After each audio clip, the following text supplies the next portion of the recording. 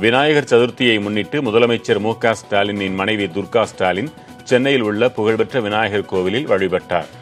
கோட்டூர்புரத்தில் உள்ள சித்தி விநாயகர் கோவிலுக்கு சென்றார். விநாயகர் சதுர்த்தி சிறப்பு வழிபாட்டிலும் அவர் பங்கேற்றார்.